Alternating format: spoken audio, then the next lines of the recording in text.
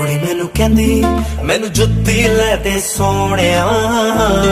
ਮੈਂ ਕਹਿੰਨਾ ਗੋਰੀਏ ਨਾ ਨਾ ਨਾ ਨਾ ਨਾ ਗੋਰੀਏ ਉਹ ਕੰਨ ਚੁੰਮ ਕੇ ਨੂੰ ਤਰਸਦੇ ਰਹਿ ਗਏ ਸੋਹਣਿਆ।